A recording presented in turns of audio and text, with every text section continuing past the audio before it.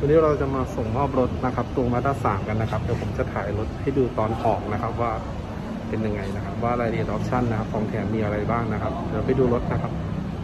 ครับเดี๋ยววันนี้เรามาตรวจรถก่อนส่งมอบนะครับ อันนี้จะเป็นรถ Mazda 3นะครับรุ่น 2.0 SP นะครับ ตัวนี้เป็นตัวท็อปนะครับ ลูกค้ามาจองเมื่ออาทิตย์ที่แล้วนะครับ พร้อมรับรถเลยนะครับไฟแนนซ์นะครับรู้ผล 1 วันเท่านั้นเองนะครับ นี่เรามาตรวจรถนะครับ อันนี้เป็นรุ่นท็อปก็จะมีเซ็นเซอร์ด้านหน้านะครับ จะมีตัว MRCC ตัว cruise control แบบแปรผันนะครับ ไฟหน้าเป็นแบบ Adaptive นะตัวนี้ แม็ก 18 นิ้วนะครับ รอบคันนะครับเราทำการขัดเคลือบสีให้เรียบร้อยแล้วนะครับ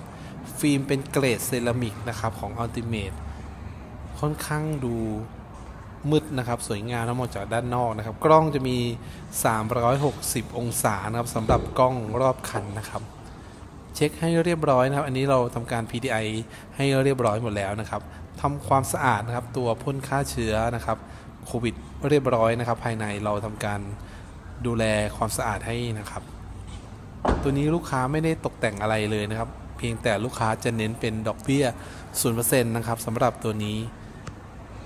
เป็นรถใหม่นะครับ MY 22นะครับ ตัว Mazda 3 ใครออกรถนะครับ เดี๋ยวผมจะให้ดอกเบี้ยพิเศษนะครับ0%นะครับ ดาว 25%นะครับสำหรับรถ Mazda 3 ตัวนี้ลูกค้าค่อนข้างคุ้มค่านะครับ อันนี้จะเป็นส่วนของตัว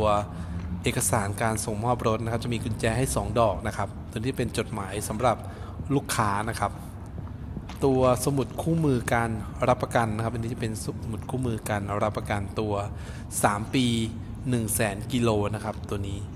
ฟรีค่าแรงให้ 3 ระยะแรกนะครับสำหรับตัว book service ตัวนี้ อันนี้ก็มีให้เรียบร้อยนะสมุดคุมป้ายแดงนะครับสำหรับลูกค้าที่ออกรถใหม่ป้ายแดงนะจะมีสมุดคุมป้ายแดงให้นะเป็นป้ายแท้นะครับ